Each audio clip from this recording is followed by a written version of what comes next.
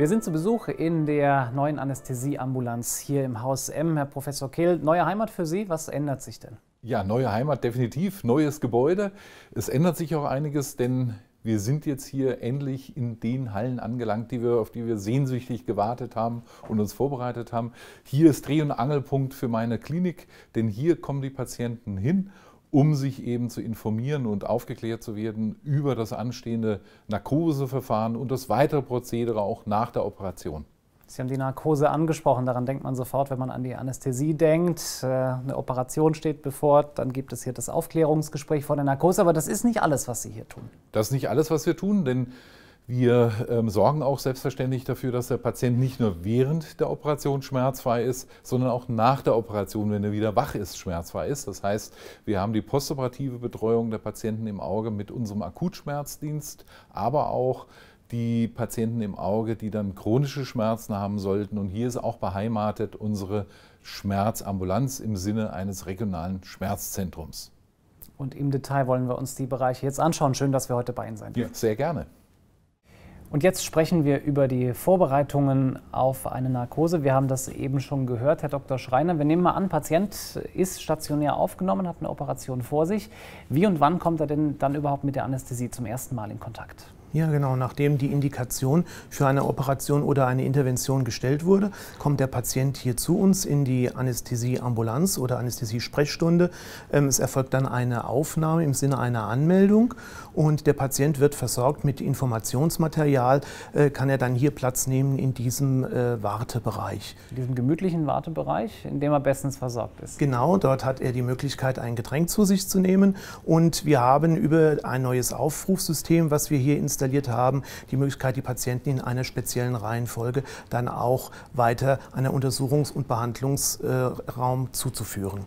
Der Patient kann, während er hier auf, die, auf diese Untersuchungs- und den Behandlung wartet, diesen Informationsbogen lesen und sich schon mal vorab äh, einige Gedanken machen. Und im Rahmen des Untersuchungs- und Aufklärungsgesprächs dann, hat er dann die Möglichkeit, entsprechende Fragen zu stellen und mit dem Narkose, der Narkoseärztin und dem Narkosearzt die äh, Fragen für die Anästhesie zu klären.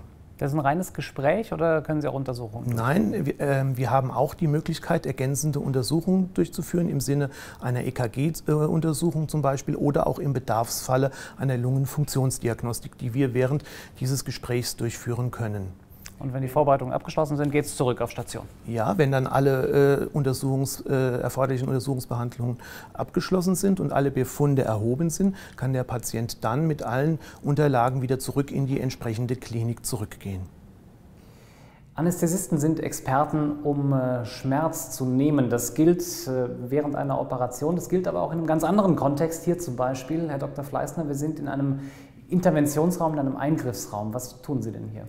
Dieser Eingriffsraum ist Teil der Schmerzambulanz, äh, in der chronisch schmerzkranke Patienten behandelt werden.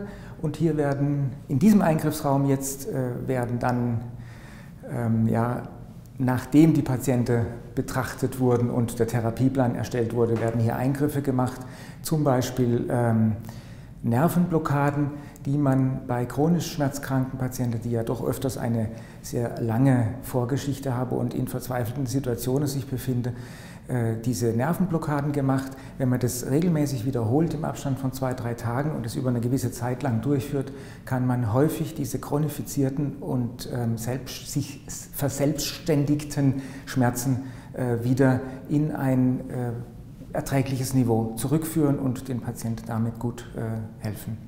Das sind äh, kleine Operationen, das sieht hier fast wie ein Operationssaal ja. aus. Wir sehen eine Lampe, wir sehen hier diese, diese, dieses Bett. Diese das sind Eingriffe, die unter sterile Bedingungen erfolgen müssen. Das heißt, der Patient wird desinfiziert und es wird mit sterilen Instrumenten gearbeitet, zum einen.